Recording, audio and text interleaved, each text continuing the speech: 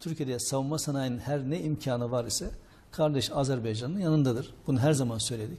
Bütün kapılarımız açık. Olabilen her türlü desteği her ortamda vermeye hazırız.